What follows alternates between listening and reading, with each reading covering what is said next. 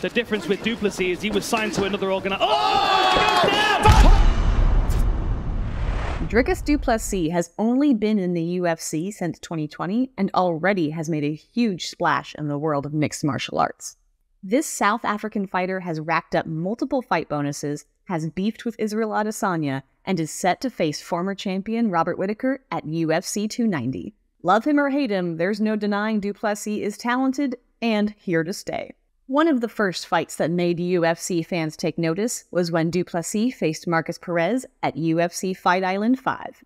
Make a difference when you're taking a fight on short notice and you've not had the time to build it up in your head. The difference with Du Plessis is he was signed to another organization. Oh!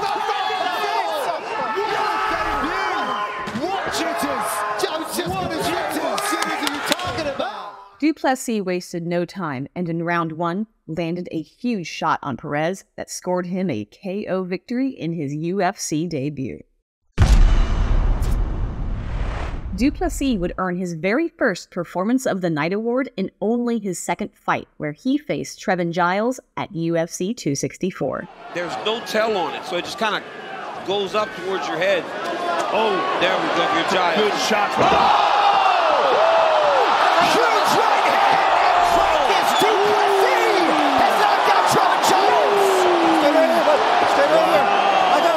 Only two fights, Du Plessis made a huge statement and quickly shot up the rankings. With performances like this so early in his UFC career, it's easy to see why UFC fans are already familiar with the name Dricus Du Plessis.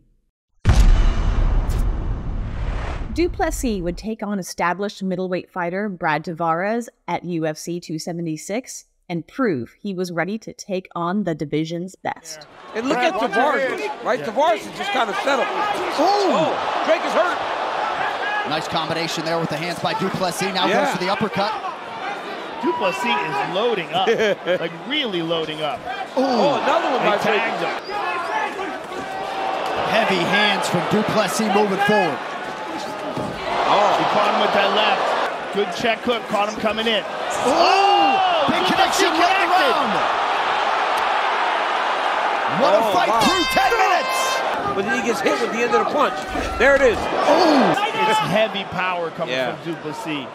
But boy, is he loading up. Oh, beautiful spin. Du Plessis would go every round, proving to fight fans that he has a gas tank and wasn't just a knockout artist. Dricus took home yet another win, only this time by unanimous decision. It was clear at this point that Du Plessis needed some stiffer competition. So at UFC 282, the South African would face former championship challenger Darren Till. Du Plessis put on a showcase for his ground game. Oh, beautiful jab. Good left counter left. Top. And that's what Drake is talking about, right, Joe? Not rushing. And when he doesn't rush, he's, he's landing. And so is Till, though. Till's just kind of poking at him with that jab. Oh, right in the mouth. Look at that. Oh, and a big right hand greets Till when he gets to the floor. That's a huge moment for Du Plessis. There's the tap. Just like that. Dricus Du Plessis, forward on oh the UFC and coming to the top 10 next week. In round three, Du Plessis scored a takedown and quickly sunk in a choke that forced Till to tap. This was yet another win for Du Plessis, bringing his win streak up to four. Finally, in his most recent matchup, Du Plessis faced number 8 in the middleweight rankings, Derek Brunson. It was a wild fight in classic Du Plessis fashion, setting Dricus up for his upcoming match against former champion Robert Whitaker. Oh, oh, he hit him with a left hand there. Oh, he landed oh, something that hurt there. Kick to the body there too by Du Plessis. Oh, oh, oh he stung him. He stung him for oh, sure. Oh, bad. Derek got really rocked there. Patient Du Plessis, look at him. And then again, nice job with that low kick and caught him on the left hook. Derek oh, big right Derek's from the South African, now a left. Derek is in a little bit of a trouble. Yeah, he is. He hasn't recovered.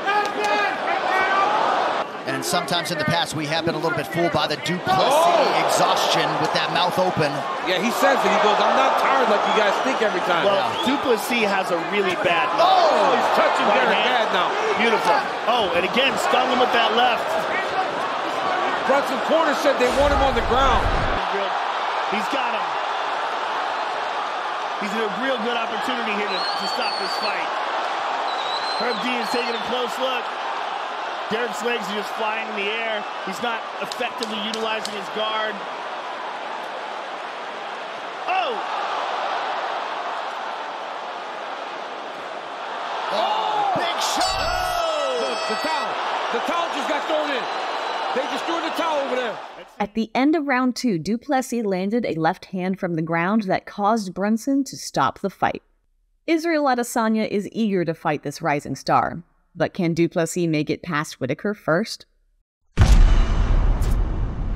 Do you think Du Plessis can beat Whitaker? Let us know in the comments. If you like this video, be sure to subscribe and check back every week for more Ultimate MMA.